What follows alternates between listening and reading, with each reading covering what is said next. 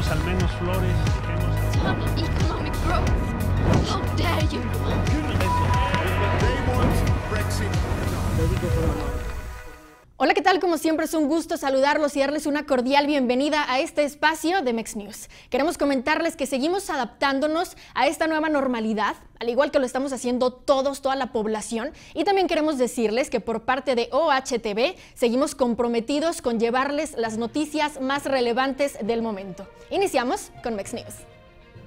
En la conferencia de prensa matutina, el secretario de la Defensa Nacional, Luis Crescencio Sandoval, dijo que el nuevo lote de vacunas contra el coronavirus será distribuido en 480 hospitales de diferentes estados mexicanos. Detalló que su plan de distribución entregará dosis en el Instituto Nacional de Cancerología en la Ciudad de México y en el Banco de Tejidos del Estado de México.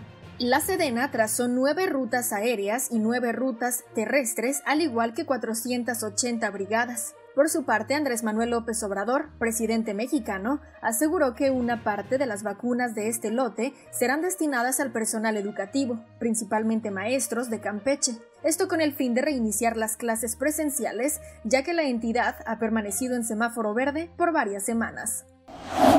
Y ahora pasemos a hablar más a detalle de esta prioridad de inmunizar a trabajadores de la educación en Campeche, que el presidente de México, Andrés Manuel López Obrador, ha anunciado. En la conferencia de prensa, AMLO dijo que la educación presencial es muy importante y que hay que avanzar en la nueva normalidad, por lo que existe una reserva de vacunas específicamente destinada a alrededor de 20.000 trabajadores de la educación de Campeche, con el fin de que puedan regresar a las aulas lo más pronto posible. Pretende que los estudiantes de nivel básico sean los primeros en recibir clases presenciales de todo el país. Con ese propósito, el jefe del Ejecutivo Federal reveló que se pondrá en contacto con el gobernador de la entidad, Carlos Miguel Aiza González, para poder vacunar a todo el personal educativo de Campeche el próximo fin de semana.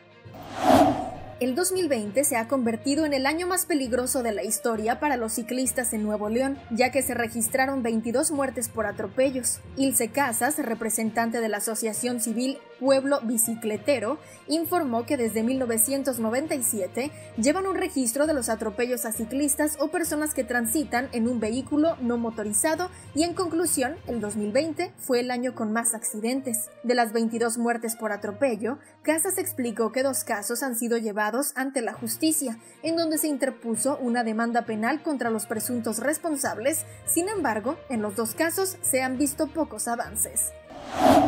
Baja California Sur celebra el nacimiento de 34 crías de ballena gris, esto en la laguna Ojo de Liebre.